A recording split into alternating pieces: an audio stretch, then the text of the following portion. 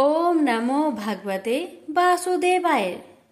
प्यारे भक्तगणों, आज की वीडियो में आप सभी जानेंगे जेठ महीने की शुक्ला पक्ष की। निर्जला एकादशी कब है? 2024 में। और इसके साथ ही आप सभी सुनेंगे निर्जला एकादशी व्रत से जुड़ी पाँच महापुण्य फल देने वाली कथा। हिंदी कैलेंडर के अनुसार प्रत्येक माह दो एकादशी तिथियाँ आती है। और इस तरह साल में कुल 24 एकादशी व्रत पड़ते हैं। प्रत्येक एकादशी का अपना एक खास महत्व होता है। ज्येष्ठ माह के शुक्ला पक्ष की एकादशी को निर्जला एकादशी कहा जाता है। वही इसे भीम एकादशी और भीमसेन एकादशी के नाम से भी जाना जाता है। पांचांग के अनुसार इस साल निर्जला एकादशी का व्रत 18 जून को पड़ेगा। कहते हैं इस व्रत को रखने से, जातक को साल भर की सभी 24 एकादशियों का फल प्राप्त होता है। साथ ही सभी पापों से मुक्ति मिलती है और मृत्यु के बाद मोक्ष की प्राप्ति होती है।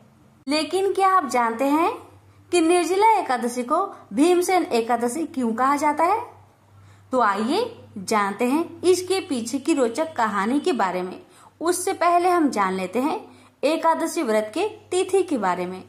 एकादशी तिथि की शुरुआत 17 जून 2024 को सुबह चार बजकर तैतालीस मिनट पर लग जाएगी। वहीं एकादशी तिथि समाप्त 18 जून 2024 को सुबह छह बजकर चौबीस मिनट पर समाप्त होगी। उदया तिथि होने के कारण निर्जला एकादशी का व्रत 18 जून मंगलवार को रखा जाएगा। निर्जला एकादशी व्रत का पारण 19 जून 2024 बुधवार के दिन किया जाएगा। अब आइए प्यारे भक्तगणों हम श्रवण करेंगे निर्जला एकादशी व्रत की महात्मय कथा और उसके बाद जानेंगे निर्जला एकादशी व्रत से जुड़ी दस महत्वपूर्ण जानकारी। निर्जला एकादशी व्रत कथा। भीमसेन व्यास जी से कहने लगे हे पितामह भ्राता युधिष्ठिर माता कुंती, द्रौपदी, अर्जुन, नकुल और सहदेव आदि सब एकादशी का व्रत करने को कहते हैं। परंतु महाराज, मैं उनसे कहता हूँ कि भाई, मैं भगवान की शक्ति, पूजा आदि तो कर सकता हूँ। दान भी दे सकता हूँ, परंतु भोजन के बिना नहीं रह सकता। इस पर व्यास जी कहने लगे कि, हे भीमसेन यदि तुम नरक को बुरा और स्वर्ग को अच्छा समझते हो? तो प्रति मास की दोनों एकादशियों को अन्न मत खाया करो।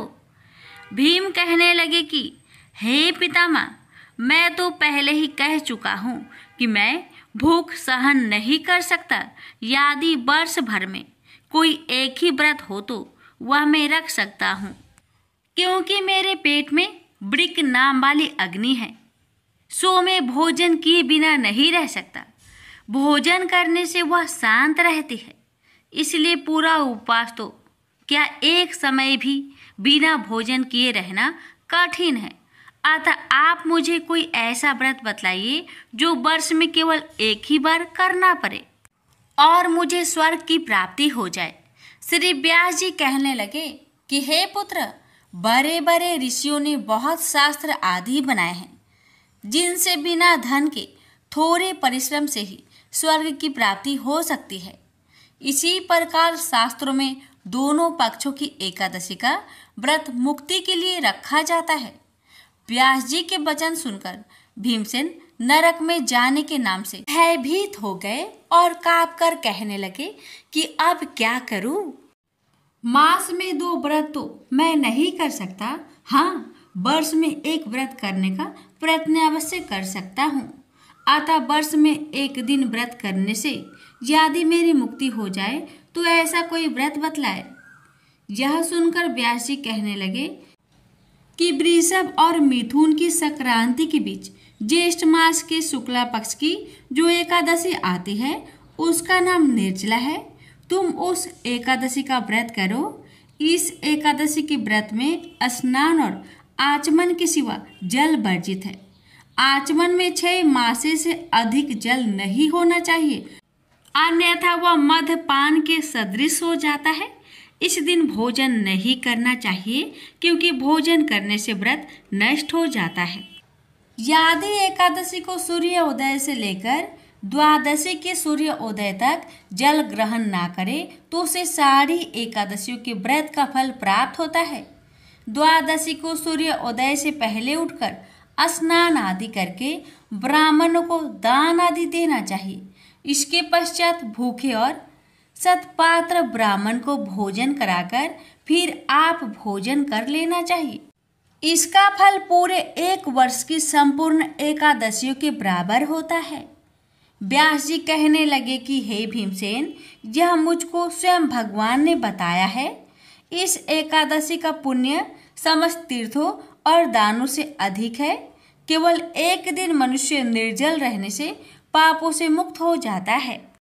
जो मनुष्य निर्जला एकादशी का व्रत करते हैं, उसकी मृत्यु के समय यमदूत आकर नहीं घेरते।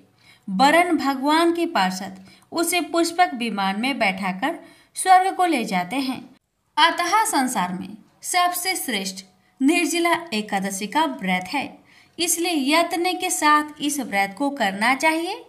इस दिन ओम नमो भगवते वासुदेवाय मंत्र का उच्चारण करना चाहिए और गौदान करना चाहिए इस प्रकार व्यास जी के आज्ञा अनुसार भीमसेन ने इस व्रत को किया इसलिए इस एकादशी को भीमसेनी या पांडव एकादशी भी कहते हैं निर्जला एकादशी व्रत करने से पूर्व भगवान से प्रार्थना करें कि हे भगवान आज मैं निर्जला व्रत करता हूँ दूसरे दिन भोजन करूँगा। मैं इस व्रत को श्रद्धा पूर्वक करूँगा। आता आपकी कृपा से मेरे सब पाप नष्ट हो जाए। इस दिन जल से भरा हुआ एक घड़ा वस्त्र से ढककर स्वर्ण सहित दान करना चाहिए। जो मनुष्य इस व्रत को करते हैं, उसको करोड़ फल, सोने के दान का फल मिलता है और जो इस दिन यागादित करते हैं उनका फल तो वर्णन ही नहीं किया जा सकता। इस एकादशी के व्रत से मनुष्य विष्णु लोक को प्राप्त होता है। जो मनुष्य इस दिन अन्न खाते हैं, वो चांडाल के समान है, वे अंत में नरक में जाते हैं। जिसने निर्जला एकादशी का व्रत किया है, वह चाहे ब्रह्म हत्यारा हो, मदपान करता हो, चोरी की हो, या गुरु के साथ देश किया हो मगर इस व्रत के प्रभाव से स्वर्ग जाता है। हे कुंती पुत्र, जो पुरुष या स्त्री श्रद्धा पूर्वक इस व्रत को करते हैं, उन्हें अग्र लिखित कर्म करने चाहिए। प्रथम भगवान का पूजन, फिर गौदान, ब्राह्मणों को मिष्टान व दक्षिणा देनी चाहिए, तथा जल से भरे कलश का दान अवश्य करना चाहिए। निर्जला के दिन अन्य वस्त्र, उपहन आदि का दान भी करना चाहिए। जो मनुष्य भक्ति पूर्वक इस कथा को पढ़ते या सुनते हैं, उन्हें निश्चय ही स्वर्ग की प्राप्ति होती है। प्रेम से बोलिए, लक्ष्मी नारायण की जय। तो आइए प्यारे भक्तगणों, हम जानते हैं निर्जला एकादशी व्रत की दस महत्वपूर्ण जानकारी। ज्येष्ठ माह के शुक्ला पक्ष की एकादशी का नाम निर्जला है। ये भगवान विष्णु की पूजा और उनके लिए व्रत करने का पर्व है। इस एक व्रत से साल भर की सभी एकादशियों के बराबर पुण्य मिल सकता है। दूसरी, इस एकादशी को पांडव और भीमसेनी एकादशी कहते हैं। महाभारत के समय भीम ने भी ये व्रत किया था। इस वजह से इस एकादशी को ये नाम मिला है। तीसरा, इस दिन व्रत उपवास रखने के साथ ही मौसमी फल, जैसे आम मिठाई, पंखा, कपड़े, जूते, चप्पल धन, अनाज का दान ज़रूर करना चाहिए। चौथा, घर में पूजा पाठ करने के साथ ही किसी पौराणिक महत्व वाले मंदिर में भी दर्शन पूजन करना चाहिए। बाल गोपाल भगवान विष्णु और महालक्ष्मी का अभिषेक करना चाहिए। पांचवा, इस दिन शिवलिंग पर ठंडा जल चढ़ाकर चंदन का लेप करना चाहिए। शिवलिंग का श्रृंगार बेल पत्र हार फूल से करे। निर्जला एकादशी का व्रत निर्जल रहकर किया जाता है। इस दिन और और पानी का सेवन नहीं करना चाहिए। तभी इस व्रत का पूरा फल मिलता है। अभी गर्मी के समय में दिन भर भूखे प्यासे रहना मुश्किल है। इसी वजह से ये व्रत तपस्या की तरह है। सातवा, किसी मंदिर में या किसी अन्य सार्वजनिक जगह पर प्याव लगवाए या किसी प्याव में मटके का दान करे। पंछियों के लिए घर के बाहर अन्न और जल ज़रूर रखना चाहिए। आठवा, जो लोग एकादशी व्रत करते हैं, उन्हें व्रत उपवास के साथ ही विष्णु जी के मंत्र ओम नमो भगवते वासुदेवाय का जप करना चाहिए। सुबह शाम पूजा करें, अगले दिन यानी द्वादशी तिथि को जल्दी उठे, पूजा पाठ करे और जरूरतमंद लोगों को खाना खिलाए, इसके बाद ही खुद खाना खाए। इस तरह यह व्रत पूरा होता है। महाभारत के समय महर्षि वेद व्यास ने पांडवों को एकादशी व्रत का महात्म्य बताया था। इस समय भीम ने व्यास जी से कहा था कि मैं तो भूखे रह ही नहीं पाता हूँ तो मुझे एकादशी व्रत का फल कैसे मिल सकता है? व्यास जी ने भीम को बताया कि निर्जला एकादशी के व्रत से साल भर की एकादशियों का पुण्य कमाया जा सकता है। इसके बाद भीम ने भी ये व्रत किया था। दसवा जो लोग दिन भर भूखे प्यासे नहीं रह सकते, उन्हें फल और दूध का सेवन करना चाहिए। एकादशी व्रत करने वाले लोग एकादशी पर सुबह जल्दी उठे और स्नान के बाद घर के मंदिर में पूजा करें। पूजा के बाद भगवान विष्णु के सामने व्रत और पूजा करने का संकल्प ज़रूर ले। इसके बाद व्रत करें। अब आइए प्यारे भक्तगणों निर्जला एकादशी व्रत को पूर्ण करने वाली कथाओं का श्रवण करते हैं। दक्षिण भारत में स्थित कांचीपुरी में चोल वंशीय राजाओं का राज्य था। तत्कालीन चोल राजा भगवान विष्णु का बड़ा भक्त था। वह अनंत शयन मंदिर में भगवान विष्णु की पूजा राजकीय अलंकरणों से किया करता था। मूर्ति की सिंगारिक पूजा कर उसके मन में यह अहंकार भी पैदा होता था, कि ऐसे दिव्य अलंकरणों से भगवान की सिंगारिक पूजा अन्य कोई नहीं करता।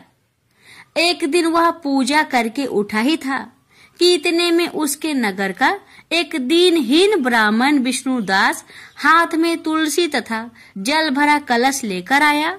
पहले तो उसने भगवान को दंडवत प्रणाम किया, फिर कलश का जल भगवान के चरणों में उरेल कर तुलसी दल चढ़ा दिया।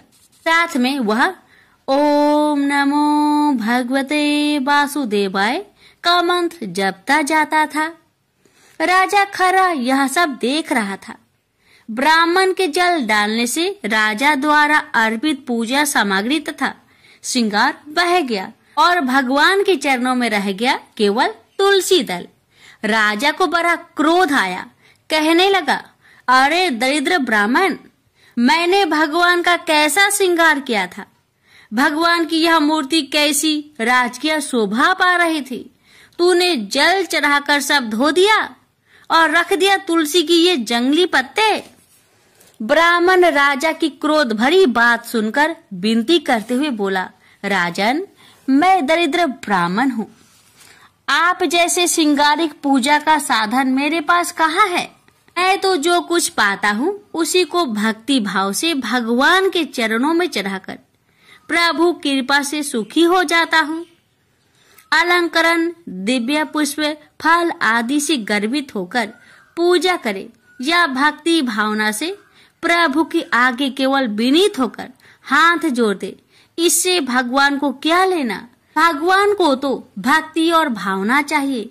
महाराज, मुझे क्षमा करे। राजा ने कहा, तुझे अपनी भक्ति पर गर्व है? तूने कोई देव मंदिर बनवाया है? कभी यज्ञ दान तप किया है?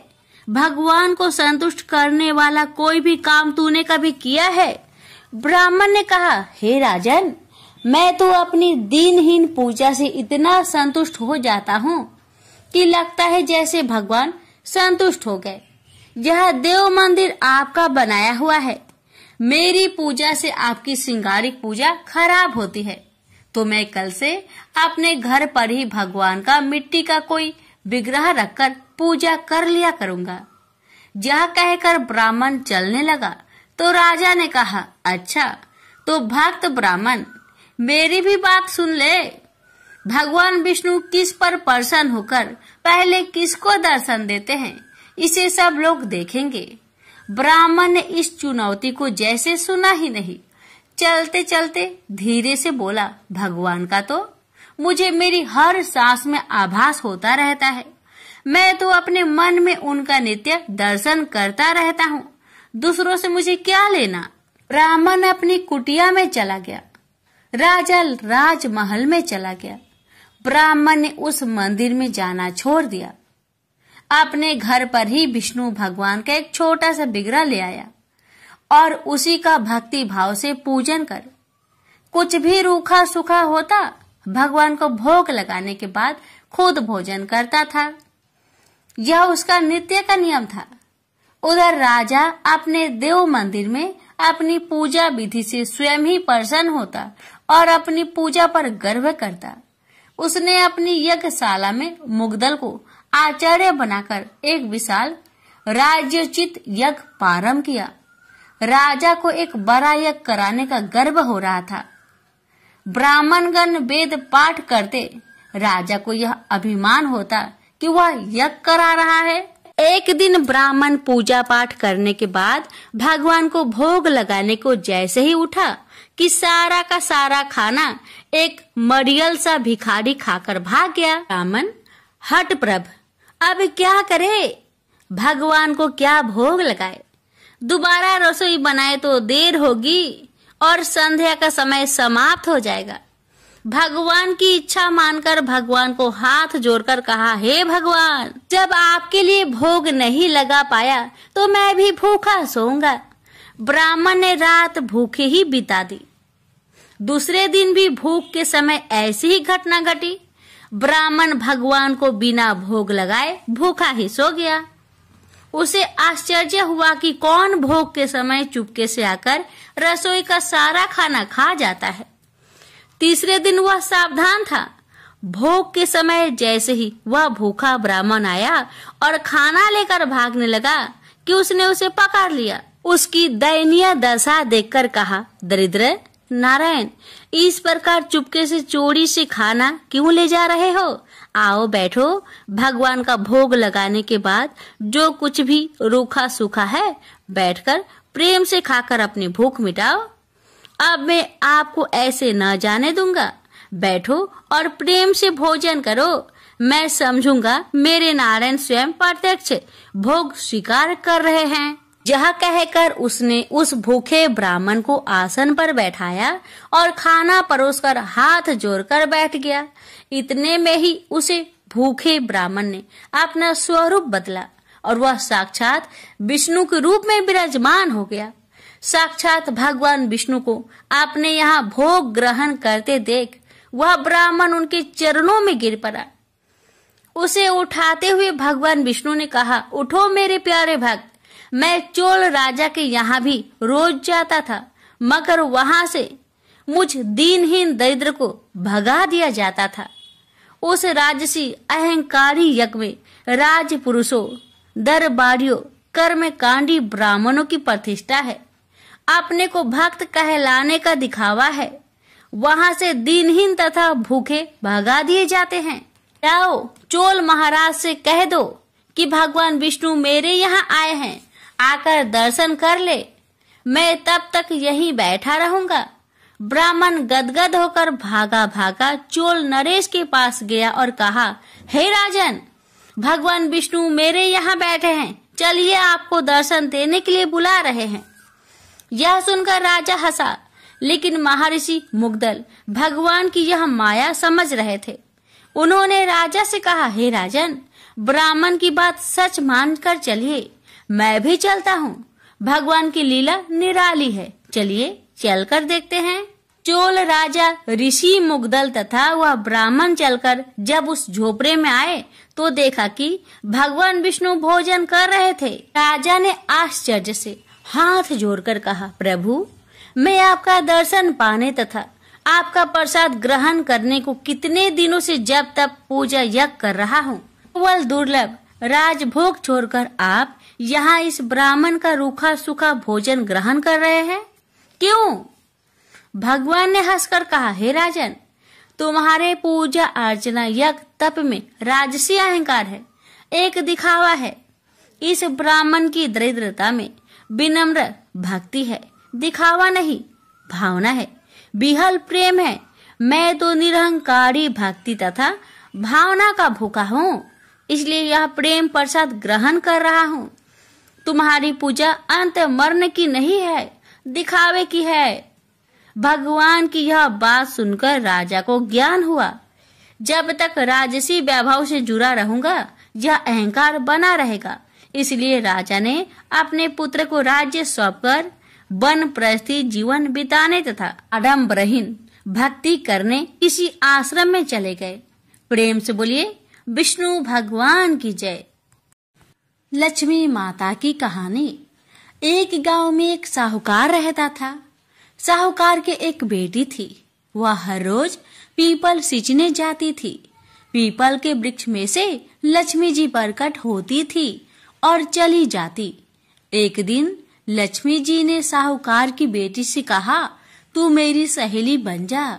तब लड़की ने कहा कि मैं अपने पिता से पूछकर कल आऊँगी। साहूकार की बेटी ने घर जाकर अपने पिता को सारी बात कह दी। तब उसके पिताजी बोले, वह तो लक्ष्मी जी है। अपने को और क्या चाहिए? तू लक्ष्मी जी की सहेली बन जा। दूसरे दिन वह लड़की फिर गई। तब लक्ष्मी जी पीपल के पेड़ से निकलकर आई और कहा, सहेली बन जा तो। लड़की ने कहा, बन जाऊँगी। और दोनों सहेली बन गई। लक्ष्मी जी ने उसको खाने का न्योता दिया। घर आकर लड़की ने माँ बाप को कहा कि मेरी सहेली ने मुझे खाने का न्योता दिया है। तब बाप ने कहा कि सहेली के जिमने जाइयो, पर घर को संभाल कर जाना। तब वह लक्ष्मी जी के यहाँ जिमने गई। तो लक्ष्मी जी ने उसे साल दो साला ओढ़ने के लिए दिया। रुपए दिए, सोने की चौकी सोने की थाली में छत्तीस प्रकार का भोजन करा दिया। जिम कर जब वह जाने लगी तो लक्ष्मी जी ने पल्ला पकड़ लिया और कहा कि मैं भी तेरे घर जिमने आऊँगी। तो उसने कहा, आ जाइयो। वह घर आकर चुपचाप बैठ गई। तब बाप ने पूछा कि, बेटी, सहेली की यहाँ जिम करा गई? और तू उदास क्यों बैठी है?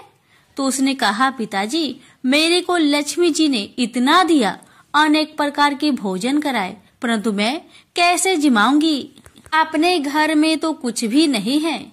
तब उसके पिता ने कहा कि गोबर मिट्टी से चौका लगाकर घर की सफ़ाई कर ले। चार मुख वाला दिया जलाकर लक्ष्मी जी का नाम लेकर रसोई में बैठ जाना। लड़की सफ़ाई करके लड्डू लेकर बैठ गई। उसी समय एक रानी नहा रही थी। उसका नौलखा हार चील उठाकर ले गई। और उसके घर वह नौलखा हार डाल गई और उसका लड्डू ले गई। बाद में वह हार को तोड़कर बाज़ार में गई। और सामान लाने लगी तो सुनार ने पूछा कि क्या चाहिए? तब उसने कहा कि सोने की चौकी, सोने का थाल, साल दुसाला दे, मोहर दे और सामग्री दे। छत्तीस प्रकार का भोजन हो जाए, इतना सामान दे। सारी चीज़ें लेकर बहुत तैयारी करी और रसोई बनाई। तब गणेश जी से कहा कि लक्ष्मी जी को बुलाओ। आगे आगे गणेश जी और पीछे पीछे लक्ष्मी जी आई। उसने फिर चौकी डाल दी और कहा, सहेली, चौकी पर बैठ जा। जब लक्ष्मी जी ने कहा, सहेली, चौकी पर तो राजा रानी की भी नहीं बैठी, किसी के भी नहीं बैठी तो उसने कहा कि मेरे यहाँ तो बैठना पड़ेगा। फिर लक्ष्मी जी चौकी पर बैठ गई। तब उसने बहुत खातिर की, जैसे लक्ष्मी ने करी थी, वैसे ही उसने करी। लक्ष्मी जी उस पर खुश हो गई। घर में खूब रुपया एवं लक्ष्मी हो गए। साहूकार की बेटी ने कहा, मैं अभी आ रही हूँ, तुम यही बैठी रहना। और वह चली गई। लक्ष्मी जी गई नहीं और चौकी पर बैठी रही। उसको बहुत दौलत दी। हे लक्ष्मी जी, जैसा तुमने साहूकार की बेटी को दिया वैसा सबको देना, कहानी सुनते, हुकारा भरते, अपने सारे परिवार को दियो, पीहर में देना, ससुराल में देना। बेटे पोते को देना, हे लक्ष्मी माता, सबका कष्ट दूर करना, दरिद्रता दूर करना, सबकी मनोकामना पूर्ण करना। प्रेम से बोलिए, लक्ष्मी माता की जय, गणेश महाराज की जय। एक बार एक राज्य में एक राजा रहते थे। राजा बहुत ही बुद्धिमान और बलशाली थे। राजा सदैव अपनी प्रजा का बहुत अच्छे से ध्यान रखते थे। प्रजा भी अपने राजा को बहुत पसंद करते थे। राजा की दो बेटियाँ थी। राजा अपनी दोनों बेटियों से बहुत प्रेम करता था। राजा की छोटी बेटी देखने में बहुत सुंदर और आकर्षक थी और राजा की बड़ी बेटी छोटी बेटी के मुकाबले थोड़ा कम सुंदर थी। राजा की छोटी बेटी ग्यारह माता का पूजन किया करती थी। और सभी लोग राजा की छोटी बेटी से बहुत प्रेम करते थे और बहुत प्रशंसा करते थे। राजा भी अपनी छोटी बेटी को बड़ी बेटी से अधिक प्रेम करते थे, जिस कारण राजा की बड़ी बेटी अपनी छोटी बहन से बहुत नफरत करने लगी। राजा की दोनों बेटियाँ जब बड़ी हो गई तब एक पड़ोस राज्य में रहने वाला राजकुमार राजा की बड़ी बेटी के लिए रिश्ता लेकर आया। लेकिन जैसे ही उस राजकुमार की नज़र राजा की छोटी बेटी पर पड़ी तो वह राजकुमार राजा की छोटी बेटी पर आकर्षक हो गया और उससे पहले नज़र में ही प्रेम कर बैठा।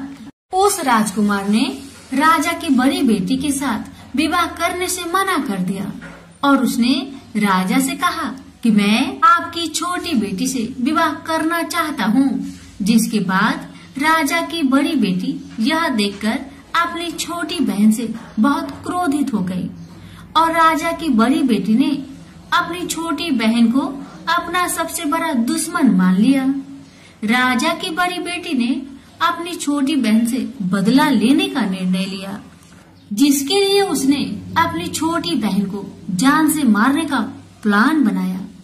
राजा की बड़ी बेटी ने अपनी छोटी बहन को मारने के लिए सबसे पहले एक लड्डू में जहर मिलाकर अपनी छोटी बहन को दे दिया और उसको लड्डू खाने के लिए कहा।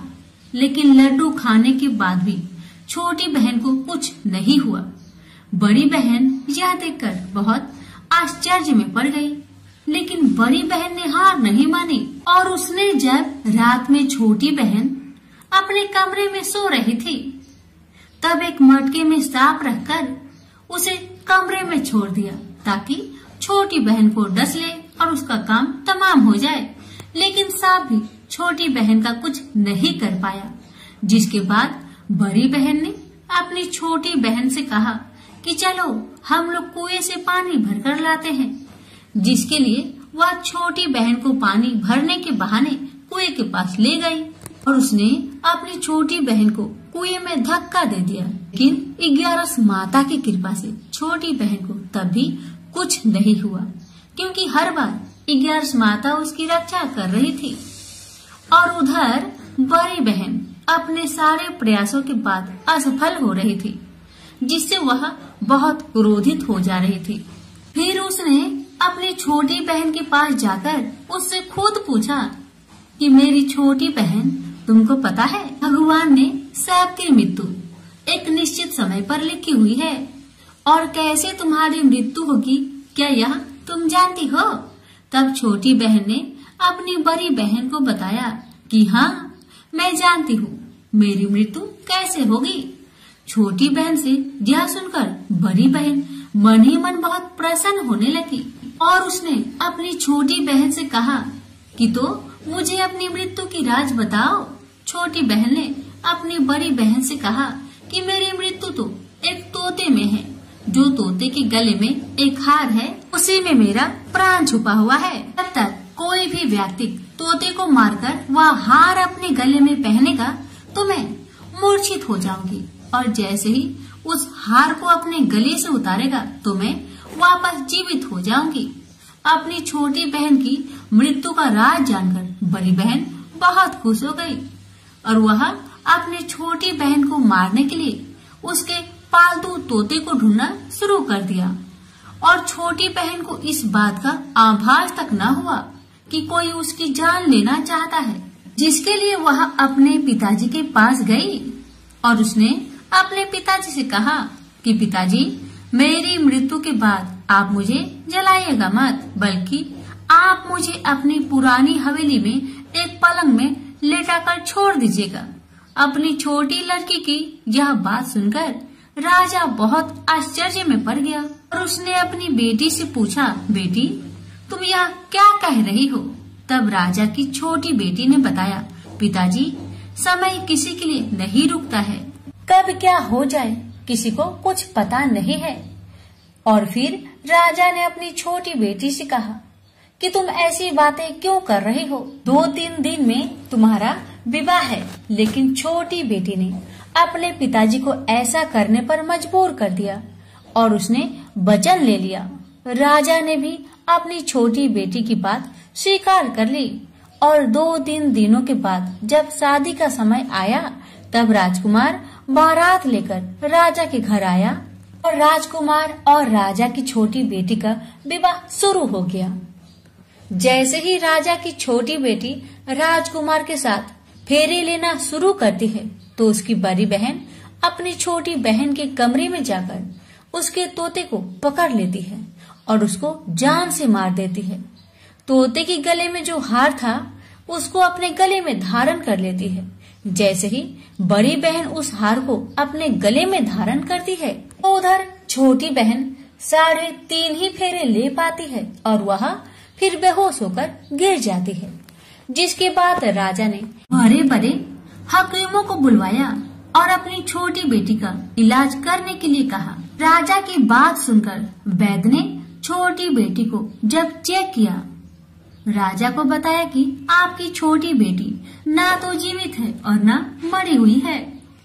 यह मैं ऐसी पहली बार देख रहा हूँ। राजा ने वैद और हकीम को ये बात बाहर बताने से मना कर दिया कि अगर तुमने यह बात किसी को बाहर बताई तो मैं तुम्हें फांसी दे दूँगा।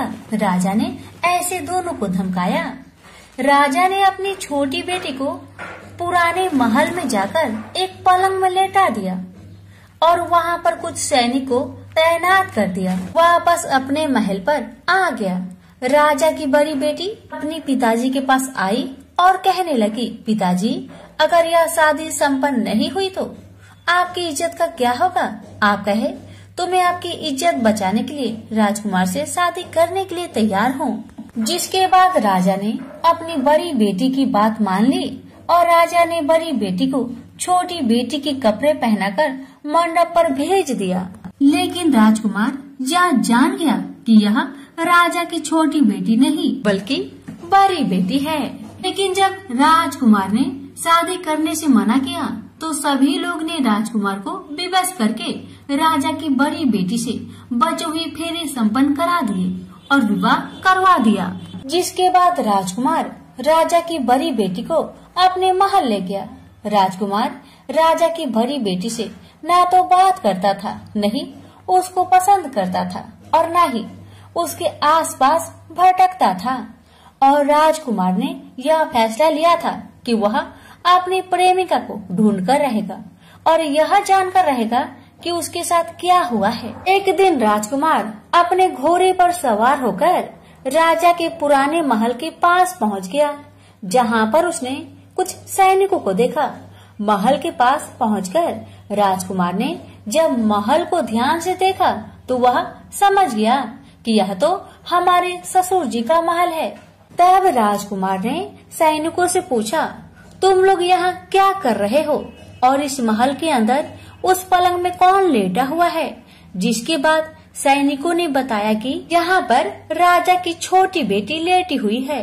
यह सुनकर राजकुमार बहुत प्रसन्न हुआ और चिंतित भी हुआ। तुरंत अपनी प्रेमिका के पास पहुँच गया और उसकी सेवा करने लगा। जैसे ही रात हुई तो राजा की छोटी बेटी उठकर खड़ी हो गई। राजकुमार यह देखकर बहुत खुश हुआ और उसने अपनी प्रेमिका से पूछा कि तुम यहाँ क्या कर रही हो? तुम मेरे साथ मेरे घर चलो। राजा की छोटी बेटी ने राजकुमार को सारी बातें बता दी कि मेरी जान एक तोते में बसी थी और मैंने यह सब सिर्फ़ अपनी बड़ी बहन को बताया था और मुझे पता है कि उसने ही मुझे मारने का प्रयास किया है। उसके पास एक हार है, जिसको वह सुबह पहन लेती है और रात को उतार देती है। जब तक वह हार को पहने रहती है, तब तक मैं मूर्छित रहती हूँ। और जैसे ही वह हार को उतार देती है तो मैं जीवित हो जाती हूँ। और जब तक मेरी बहन के पास वह हार है, तब तक मैं ऐसे ही जीवित और मूर्छित होती रहूँगी। अगर मेरी बड़ी बहन के पास जो हार, वह मेरे हाथ लग जाए तो मैं हमेशा के लिए जीवित हो जाऊँगी। राजकुमार, यह बात सुनकर राजा की छोटी बेटी के पास रहने का निर्णय ले लिया और उसने अपने बचे हुए सारे फेरे उस पलंग में लेटी राजकुमारी की छोटी बेटी के साथ ले लिए और अपना विवाह को पूर्ण कर लिया और वहीं पर रहने लगा। देखते ही देखते कुछ समय में राजा की छोटी बेटी और राजकुमार की पत्नी पेट से हो गई। एक दिन राजकुमार को किसी काम से बाहर जाना पड़ा तब छोटी बहन के पेट में बहुत तेज दर्द होने लगा, जिसके बाद उसने ग्यारस माता का ध्यान किया, जिसके बाद वहाँ पर ग्यारस माता प्रकट हुई और उन्होंने अपने भक्तों के दर्द को दूर किया और एक पुत्र की प्राप्ति करवाई और वहीं पर अचानक से राजकुमार भी आ गया। राजकुमार ने ग्यारस माता को देखा तो वह आश्चर्य हो गया और उसने तुरंत माता को प्रणाम किया और ग्यारस माता ने राजकुमार से कहा, जब तुम्हारा बेटा पाँच वर्ष का हो जाए तो तुम अपनी पत्नी के हार आकर इसके गले में डाल देना। और देखते देखते राजकुमार और राजा की छोटी बेटी का पुत्र पाँच वर्ष का हो जाता है तो राजकुमार अपने बेटे से कहता है कि, बेटा, मैं कुछ काम से बाहर जा रहा हूँ। तुम अपनी माता का ध्यान रखना और वह वहाँ से चला जाता है। राजकुमार को बाहर निकलता देख बड़ी बहन के सैनिक देख लेते हैं और वह बड़ी बहन को जाकर सारी बातें बता देते हैं, जिसके बाद बड़ी बहन अपनी छोटी बहन के पुत्र को वहाँ से उठवा लेती है और उसको मरवा देती है। छोटी बेटी के पुत्र के दो टुकड़े करवा देती है।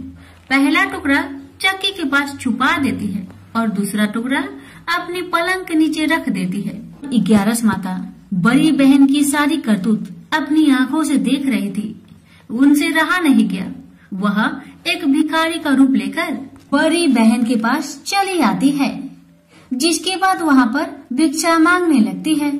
बड़ी बहन अपने नौकरों से कहती है कि जाकर भिक्षा दे दो, लेकिन जैसे ही नौकर ग्यारस माता को भिक्षा देने के लिए आते हैं तो माता उन्हें मना कर देती है और कहती है कि मैं तुम्हारे महारानी से ही भिक्षा लूँगी। जाओ, जाकर कह दो। इसके बाद बड़ी बहन स्वयं ही भिक्षा देने के लिए माता के पास आती है। तब माता एक बिल्ली का रूप लेकर उसके कमरे में चली जाती है। और वहाँ पर छोटी बेटे के पुत्र के टुकड़े को जोड़ देती है और उसे जीवित कर देती है। उसे वहाँ से ले जाती है। राजकुमार अपने बेटे को लेकर अपनी पत्नी के पास जाता है और उसे कहता है कि तुम इसका ध्यान रखना। अगर तुम इस बच्चे का अच्छे से ध्यान रखोगी तो मैं तुमसे बात करूँगा। एक दिन राजकुमार बच्चे से कहता है कि तुम मम्मी से उनके गले का हार मांग लो, जिसके बाद राजकुमार का लड़का अपनी मम्मी के पास जाता है और कहता है कि मम्मी, मुझे तुम्हारा हार चाहिए, जो तुमने गले में पहन रखा है। यह सुनकर पहले तो बड़ी बहन बहुत क्रोधित होती है, पर उसको यह याद आता है कि राजकुमार ने कहा था कि अगर मैं इस बच्चे का ध्यान रखूँ तो वह मुझसे बात करेंगे। इसके कारण वह हार को उस बच्चे को दे देती है और वह तुरंत हार ले जाकर अपने पिताजी को दे देता है और तभी राजकुमार अपने बेटे को लेकर वहाँ से जाने लगता है और अपनी पत्नी से कहता है कि तुम हमारे लिए खाना बनाकर रखना। मैं शाम को आकर तुम्हारे साथ खाऊँगा। और वह अपने बेटे को लेकर वहाँ से चला जाता है जिसके बाद वह राजा के पास जाता है और उनको सारी बातें बता देता है। राजा अपनी बड़ी बेटी की यह करतूत सुनकर बहुत क्रोधित होते हैं और अपनी परवरिश पर ही दोष देने लगते हैं और राजकुमार को अपनी छोटी बेटी के साथ रहने के लिए आदेश देते हैं। ग्यारस माता की कृपा से राजा की छोटी बेटी राजकुमार के साथ सुखी जीवन व्यतीत करने लगी और हर ग्यारस को ग्यारस माता का व्रत करने लगे। प्रेम से बोलिए, ग्यारस माता की जय। प्रजापति महर्षि कश्यप की कई पत्नियाँ थी। उनमें से एक का नाम था दनु। दनु की संतान दानव कहलाए। उसी दनु के बड़े पुत्र का नाम दम्भ था। दम्भ बहुत ही सदाचारी और धार्मिक प्रवृत्ति का था। अन्य दानों की भांति। उसमें ना तो ईर्ष्या ही थी और ना ही देवताओं से देश भावना। वह विष्णु का भक्त था और उन्हीं की आराधना किया करता था। लेकिन उसे एक ही चिंता सताती रहती थी कि उसके कोई पुत्र ना था। आचार्य शुक्र ने उसे श्री कृष्ण मंत्र की दीक्षा दी। दंभ ने दीक्षा पाकर पुष्कर में महान अनुष्ठान किया। अनुष्ठान सफल हुआ। उसके अनुष्ठान से प्रसन्न होकर भगवान विष्णु प्रकट होकर बोले, बस, मैं तुम्हारे अनुष्ठान से प्रसन्न हूँ, पर मांगो। दंभ बोला, भगवान, यदि आप मेरी तपस्या से प्रसन्न है तो मुझे ऐसा पुत्र दे, जो आपका भक्त हो, और त्रिलोक की जय हो। उसे देवता भी युद्ध में ना जीत सके, भगवान विष्णु ने तथास्तु कहा, और अंतर ध्यान हो गए, और दम्भ पर संचित अपने घर लौट आया। गोलोक में श्री राधा ने श्री कृष्ण, पार्षद, श्री दामा को असुर होने का श्राप दिया था। श्राप मिलने पर वही दम्भ की पत्नी के गर्भ में आया। जन्म होने के पश्चात दम्भ ने अपने उस पुत्र का नाम शंखचूर रखा। जब वह कुछ बड़ा हुआ तो दम्भ ने उसे मुनि जैगी शिष्य की देखरेख में रख दिया। मुनि जैगी शिष्य ने उसे शिक्षा दीक्षा दी। अपनी कुमार अवस्था में ही संघचूर पुष्कर में पहुँचा और उस महान धार्मिक तप स्थली में ध्यान मग्न रहकर बरसों तक ब्रह्मा जी की तपस्या करता रहा। उसकी घोर तपस्या से प्रसन्न होकर ब्रह्मा जी प्रकट होकर बोले, बत्स, मैं तुम्हारी तपस्या से प्रसन्न हूँ। बर मांगो, पितामह मुझे ऐसा वरदान दीजिए कि मुझे देवता पराजित ना कर सके। शंखचूर ने कहा, ब्रह्मा जी ने उसे ऐसा ही वरदान दिया और श्री कृष्ण कवच प्रदान करते हुए उसे आदेश दिया शंखचूर तुम बद्री का आश्रम चले जाओ। वहाँ तुम्हारा भाग्य का सितारा उदय होने की प्रतीक्षा कर रहा है। आदेश मानकर शंखचूर बद्री का आश्रम पहुँचा। वहाँ महाराज धर्म ध्वज की पुत्री तुलसी भी तपस्या कर रही थी। दोनों का आपस में परिचय हुआ और ब्रह्मा जी की इच्छा अनुसार दोनों का विवाह हो गया। अपनी पत्नी को लेकर शंखचूर पुनः दैत्यपुरी लौट गया। शुक्राचार्य ने उसे दानों का आधिपति बना दिया। सिंहासन पर बैठते ही उसने अपना साम्राज्य बढ़ाने के लिए देवलोक पर चढ़ाई कर दी। ब्रह्मा जी के वरदान के कारण वह अजय हो चुका था, था। देवताओं को उसे हराने में कोई कठिनाई नहीं हुई।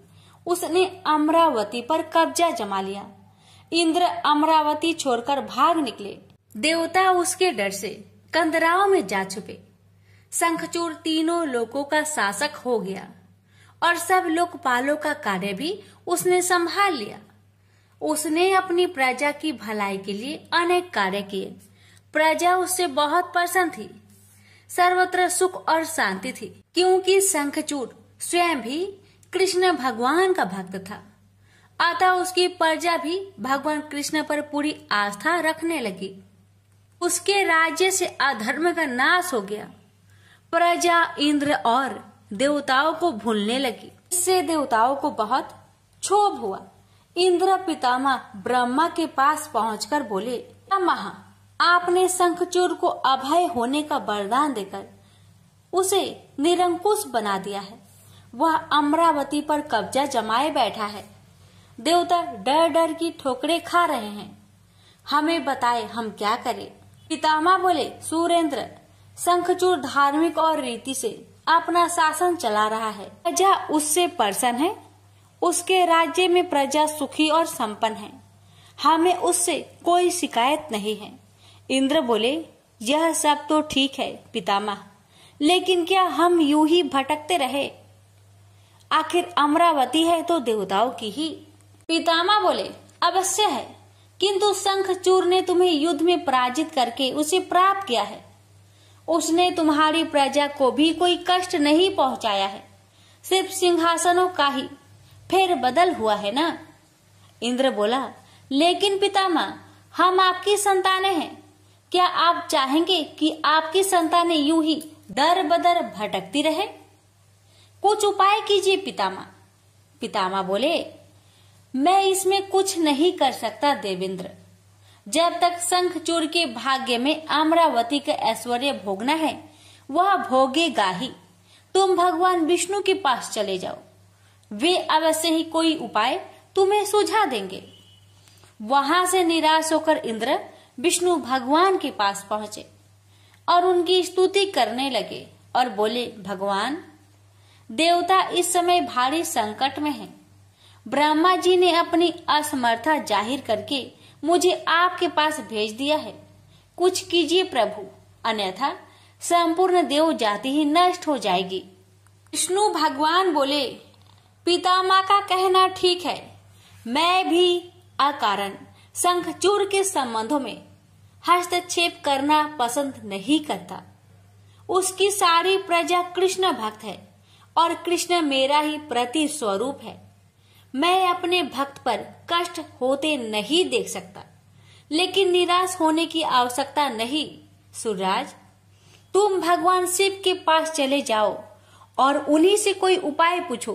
वे अवश्य तुम्हारे कष्ट का निवारण कर देंगे। विष्णु भगवान की बात सुनकर इंद्र निराश भाव से बैकुंठ से निकल आए। अंत में वह भगवान शिव के पास कैलाश पर्वत न जाकर शिवलोक पहुँचे और भगवान शिव की स्तुति करके अपने आने का प्रयोजन बताया। भगवान शिव ने उसकी बात सुनी और उसे अवशस्त किया। धैर्य रखो सुरराज, तुम्हारा सिंहासन तुम्हें अवश्य प्राप्त होगा। मैं गंधर्व राज चित्ररथ को अभी दूत बनाकर शंखचूर के पास रवाना करता हूँ। शिव के आदेश अनुसार गंधर्व गंधर्वराज चित्ररथ शंखचूर के राजधानी पहुँचा। उस समय शंखचूर अपने सिंहासन पर विराजमान था। चित्ररथ ने उसका अभिवादन करने के पश्चात अपने आने का कारण बताया। दैत्यराज मैं गंधर्व गंधर्वराज चित्ररथ हूँ। और भगवान शिव का एक संदेश लेकर आपके पास आया हूँ। यह सुनकर शंखचूर के चेहरे पर आश्चर्य झलक आया। शिव के दूत को सामने पाकर वह सिंहासन से उठकर बोला, मेरा अहो भाग्य है कि भगवान शिव ने मुझे किसी योग समझा। आप संदेश सुनाए। क्या संदेश भेजा है भगवान रुद्र ने? गंधर्व राज बोला दैत्यराज भगवान शिव का संदेश है कि तुम देवताओं का राज्य उन्हें वापस लौटा दो और उनके अधिकार उन्हें दे दो। भगवान शिव ने देवों को अभय होने का वचन दिया है। शंखचूर बोला, गंधर्व राज, भगवान शिव से मेरा प्रणाम कहना और उनसे कह देना कि शंखचूर के हृदय में आपके लिए बहुत ही ज़्यादा श्रद्धा है। परंतु यदि उन्होंने इंद्र के बाहुकावे में आकर मुझे दंडित करने का निश्चय किया है तो मैं उनकी बात नहीं मानूँगा और उनसे भी युद्ध करने के लिए तैयार हो जाऊँगा। चित्ररथ वापस लौटा और उसने भगवान शंकर को शंखचूर का उत्तर सुनाया। यह सुनकर शिव क्रोधित हो गए और अपने गनों को युद्ध का आदेश दे दिया। उधर शंखचूर ने अपने पुत्र का अभिषेक कर उसे दानवधिपाति बना दिया और अपनी पत्नी से बोला, मैंने युद्ध स्वीकार कर लिया है, देवी। ईश्वर करे, युद्ध में हमारी विजय हो। अब मुझे अनुमति दो। मेरी सेनाएँ तैयार है। शंखचूर अपनी सेनाओं लेकर युद्ध भूमि में जा पहुँचा। दोनों सेनाओं गोमतत्र पर्वत के समीप, एक दूसरे के आमने सामने आ खड़ी हुई। भगवान शिव ने शंखचूर के पास एक बार फिर संदेश भेजा कि वह नादानी ना करे और युद्ध से दूर रहकर उनकी बात मान ले। किंतु शंखचूर न माना और दोनों सेनाओं में घनघोर युद्ध छिड़ गया। भगवान शिव और शंखचूर आमने सामने डट गए। दोनों में अनेक अस्त्र शस्त्रों से युद्ध होने लगा। फिर भगवान शिव ने जैसे ही शंखचूर का वध करने के लिए त्रिशूल उठाया तो आकाशवाणी हुई, देवादि देव, आप परलयंकर है। सर्व समर्थ है, किंतु आपको मर्यादा की रक्षा करनी चाहिए। श्रुति की मर्यादा को नष्ट ना करे, जब तक शंख चूर के पास हरि का कवच है और जब तक उसकी पतिव्रता पत्नी मौजूद है, तब तक उस पर बुढ़ापा नहीं आ सकता और ना ही उसकी मृत्यु हो सकती है। आकाशवाणी के खत्म होते ही शिव का त्रिशूल अपने आप रुक गया। तभी भगवान विष्णु प्रकट हुए। शिव से बोले, भगवान, आपने तो मुझे बड़े धर्म संकट में डाल दिया है। आप ही ने तो इंद्र को मेरे पास भेजा। और जब मैंने उसे अभय करने के लिए युद्ध आरंभ किया तो अब आपका ही कवच आड़े आ रहा है। अब आप ही कोई उपाय सोचिए। विष्णु बोले शंखचूर के श्राप का समय अब समाप्त होने ही वाला है। भगवान, अब इसे असुर योनि से मुक्त करके गोलोक भेजना पड़ेगा। यह कृष्ण भक्त है और कृष्ण मेरा ही प्रति स्वरूप है, अतः इसे वापस गोलोक भेजना होगा। फिर विष्णु ने एक ब्राह्मण का वेश धारण किया और शंखचूर के पास पहुंचकर बोले, दानवराज, मैं एक निर्धन ब्राह्मण हूँ। कुछ पाने की आस के लिए आपके पास आया हूँ। शंखचूर बोला, मांगो बर, जो भी मेरे पास है, उसे दे देने में मुझे किंचित भी विलम्ब नहीं लगेगा। मेरा सिर भी मांगोगे तो वह भी देने से मैं इनकार नहीं करूँगा। आप आदेश तो दो, अमन, भेषधारी। विष्णु बोले, दैत्यराज, मुझे आपका सिर नहीं, आपका कवच चाहिए। बोलिए, देंगे अपना कवच? शंखचूर ने अपना कवच उतारकर ब्राह्मण भेषधारी विष्णु को सौंपते हुए कहा, अवश्य, यदि भगवान कृष्ण की ऐसे ही इच्छा है तो ऐसा ही होगा। आप कवच ले जाइए। ब्राह्मण भेषधारी विष्णु कवच लेकर दैत्यपुरी पहुँचे। फिर उन्होंने शंखचूर का भेष धारण किया और राजमहल में जाकर शंखचूर की पत्नी तुलसी के पास पहुँचे। तुलसी ने उन्हें अपना पति ही समझा और उनका स्वागत किया। उस रात विष्णु शंखचूर के महल में ही ठहरे। अचानक ही पतिव्रता तुलसी को धोखे का आभास हुआ। वह चौक कर बिस्तर से उठी, बोली, कौन है तू? और मेरे साथ छल करने का तुम्हें साहस कैसे हुआ? जल्दी बोल।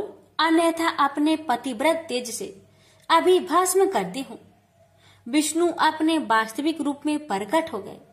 उन्होंने तुलसी को समझाते हुए कहा सुनो जी तुम्हारे पति का समय पूरा हुआ। एक श्राप के कारण ही उसे असुर योनि में आना पड़ा था। अब से वह गोलोक में रहेगा क्योंकि तुम्हारा पतिव्रत धर्म ही उसकी रक्षा कर रहा था। इसलिए मुझे छल करके तुम्हें कलुषित करना पड़ा। तुलसी रोते हुए बोली, यह आपने अच्छा नहीं किया भगवान। क्यों मेरे साथ छल करके मेरा अस्तित्व नष्ट किया? मैं शराब देती हूँ कि आज से आपको भी पत्थर बन जाना पड़ेगा। आप में दया ममता नहीं है। आप पत्थर है पत्थर। विष्णु बोले, और मैं भी तुम्हें बर देता हूँ तुलसी, कि मेरे पत्थर बन जाने पर तुम्हें भी मेरे पास ही स्थान मिलेगा। भविष्य में लोग तुलसी और शालिग्राम की पूजा करेंगे। तुलसी के बगैर शालिग्राम की पूजा अधूरी रहेगी। उसके बाद विष्णु अंतर ध्यान हो गए और युद्ध भूमि में खड़े शिव को अपनी दिव्य शक्ति से सब कुछ बता दिया। शंखचूर और शिव में पुनः युद्ध आरंभ हो गया। किंतु तुलसी के पतिव्रत धर्म नष्ट हो जाने से शंखचूर की शक्ति घट गई थी। अतः शिव ने अपना त्रिशूल उसकी ओर फेंका तो वह सीधा शंखचूर की हृदय स्थल को बेध गया। वातावरण में हज़ारों बिजलियाँ एक साथ कौद गई। चारों दिशाएँ काप उठी और देखते ही देखते शंखचूर धरती पर जा गिरा। गिरते ही उसके प्राण पेखरू उड़ गए। श्राप से मुक्ति मिलते ही श्री दामा गोलोक जा पहुँचा। उसकी भस्म से एक शंख प्रकट हुआ, जो कालांतर में भगवान शिव के हाथों की शोभा बना। देवताओं ने शिव की जय जयकार की और इंद्र को अपना सिंहासन पुनः प्राप्त हो गया। प्रेम से बोलिए, हर हर महादेव, माता पार्वती की जय। लक्ष्मी नारायण की जय। तुलसी माता की जय। शालिग्राम भगवान की जय। लापसी तपसी की कथा। एक लापसी था, एक तपसी था। तपसी हमेशा भगवान की तपस्या में लीन रहता था। लापसी रोज़ाना सवा शेर की लापसी बनाकर भगवान का भोग लगाकर जीम लेता था। एक दिन दोनों लड़ने लगे। लपसी बोला, मैं रोज भगवान की तपस्या करता हूँ, इसलिए मैं बड़ा हूँ। लपसी बोला कि मैं रोज भगवान को सवा से लापसी का भोग लगाता हूँ, इसलिए मैं बड़ा हूँ। नारद जी वहाँ से गुजर रहे थे। दोनों को लड़ता देखकर उनसे पूछा, कि क्यों तुम लड़ रहे हो? लापसी ने खुद को बड़ा होने का कारण बताया और तपसी ने अपना कारण बताया। नारद जी बोले, तुम्हारा फैसला मैं कर दूँगा। दूसरे दिन लापसी और तपसी नहाकर अपनी रोज की भक्ति करने आए। तो नारद जी ने छुपकर सवा करोड़ की एक एक अंगूठी उन दोनों के आगे रख दी। तपसी की नज़र जब अंगूठी पर पड़ी तो उसने चुपचाप अंगूठी उठाकर अपने नीचे दबा ली। लपसी की नज़र अंगूठी पर पड़ी, लेकिन उसने ध्यान नहीं दिया। भगवान को भोग लगाकर लापसी खाने लगा। नारद जी सामने आए तो दोनों ने पूछा कि कौन बरा तो नारद जी ने तपसी को खड़ा होने को कहा। वो खड़ा हुआ तो उसके नीचे दबी अंगूठी दिखाई पड़ी। नारद जी ने तपसी से कहा, तपस्या करने के बाद भी तुम्हारी चोरी करने की आदत नहीं गई, इसलिए लपसी बना है और तुम्हें तुम्हारी तपस्या का कोई भी फल नहीं मिलेगा। तपसी शर्मिंदा होकर माफ़ी मांगने लगा। उसने नारद जी से पूछा, मुझे मेरी तपस्या का फल कैसे मिलेगा? नारद जी ने कहा यदि कोई गाय और कुत्ते की रोटी नहीं बनाएगा तो फल तुझे मिलेगा। यदि कोई ब्राह्मण को भोजन करवाकर दक्षिणा नहीं देगा तो फल तुझे मिलेगा। यदि कोई साड़ी के साथ ब्लाउज नहीं देगा तो फल तुझे मिलेगा। यदि कोई दिए से दिया जलाएगा तो फल तुझे मिलेगा। यदि कोई सारी कहानी सुने, लेकिन तुम्हारी कहानी नहीं सुने तो फल तुझे मिलेगा। उसी दिन से हर व्रत कथा कहानी के साथ लैपसी, तापसी की कहानी भी सुनी और कही जाती है। प्रेम से बोलिए लक्ष्मी नारायण की जय।